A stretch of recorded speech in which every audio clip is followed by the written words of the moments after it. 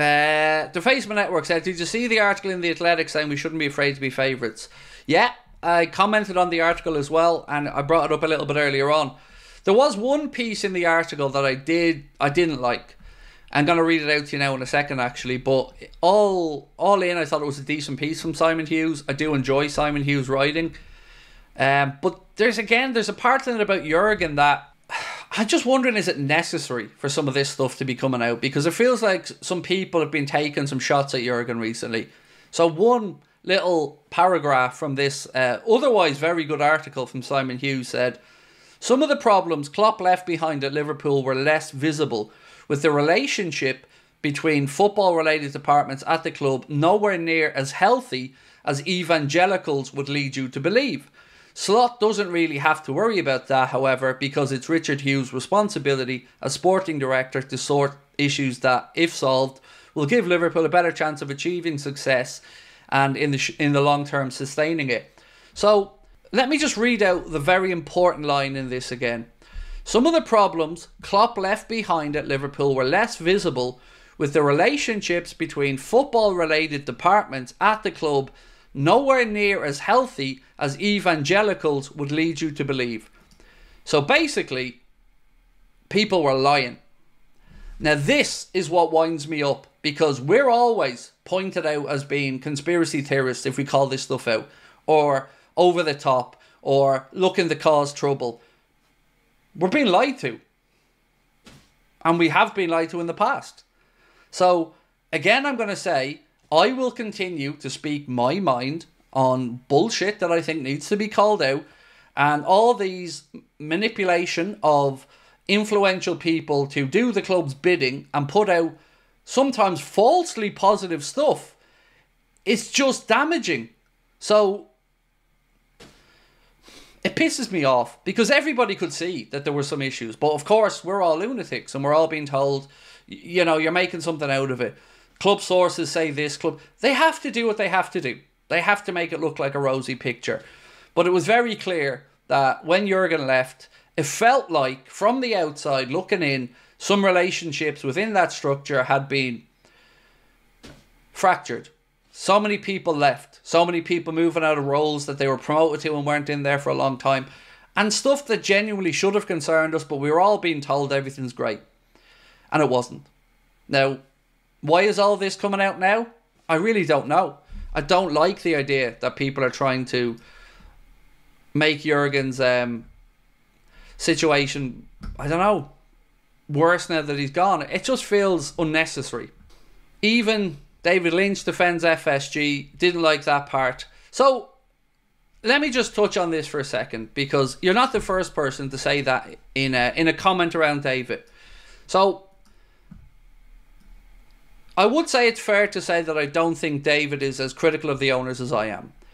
But there's a couple of things here. The reason I like speaking with David Lynch is I think it's important that we get different opinions. So I have my opinion on FSG, and I'm not afraid to sit down and speak with somebody who has a differing opinion on FSG and hear what they have to say and maybe make my own mind up. But you never see it the other way around. You never see anybody who is critical of them being given an opportunity to question them or to interview somebody at the club about the ownership group. And this is what pisses me off. So, with the Red Mist podcast, me and Lee are looking to again bring people together to have conversations in a civil way that might be emotive subjects like the Manchester City situation, which we're going to be debating on Monday. And with David Lynch, I very much love a differing viewpoint because maybe I'm wrong about certain things and David can help me with that. Or maybe I can point out some stuff to David that he perhaps wasn't thinking about in a certain way. So I don't feel like he's an FSG apologist. I just genuinely feel that he thinks if there's a problem to be had here with these with these contracts, he thinks that FSG have empowered um, Hughes and Edwards to sort it out, and ultimately it would come down to their decisions. And I understand where he's coming from. We just look at it a little bit differently. I think ultimately whoever's at the top of the pyramid is responsible, um, and I like and that's why I like David. We can have a respectful differing of opinions, and it doesn't get into a shout match, and people can then make up their own mind what they think. I just hope that it it shows people that you know these important conversations need to be had. They do need to be had, and we need to do it from a place where it isn't uh, trying to just undermine each other or shout each other down or belittle each other. Uh, Johnny said, completely agree, Craig. Just imagine what we could have achieved if they didn't or hadn't penny pinched right when we needed to go in for the kill. Yep. Um, so the argument back there, Johnny, is always, oh, you want us to be like Man City or Chelsea. No, we don't. Doesn't have to be that extreme. We just want a bit more. And that's it. I've said before, Liverpool fans to me, a lot of them feel like we're almost browbeaten into accepting the crumbs off the table or into accepting whatever narrative the owners put out. And the narrative about everything was great behind the scenes with Jurgen, well, that's apparently bullshit, according to journalists who all of a sudden now are willing to write about these things but didn't have the backbone to speak up about it at the time. And then again, they call us the ones that are untrustworthy. Say what you want about me, I've been consistent in my opinion. I haven't changed it. I haven't tried to stab somebody in the back after they've gone and belittle them. I've always said, even when Jurgen was saying he had a great relationship with the owners, I wasn't buying it. I wasn't buying it because I don't believe it. Because he wanted more. And he should have had more. Because he deserved more. So yeah. That's my uh, my take. Uh, G said, Craig, my argument is FSG don't know football. Edwards and Hughes do, and being given the chance to show the fans FSG will spend. But they want people who will make good choices for the team. So let me push this back a little bit. We had Edwards in before for quite a while. And we weren't really shown that the club could spend too much, were we? So I love that you're optimistic. And I'm absolutely open minded with regards to let's see what they do over the next few windows. 100%. We're, we're, we're now in a position of strength. We've started the season well, but we still need to sort out the contracts. And these contracts are just embarrassing at this point that we're, we're still here. Uh, Vaughan said Klopp narrative smells fishy because if he was given that amount of power and was shafted by the owners to sign certain players, uh, which he would have, it doesn't make any sense. A lot of these things haven't made sense to me, mate. Like, how is it? Like the Paul Joyce tweet the other day, or the Paul Joyce piece the other day that said it's not that Liverpool don't have the resources; it's that they want to allocate those resources accordingly.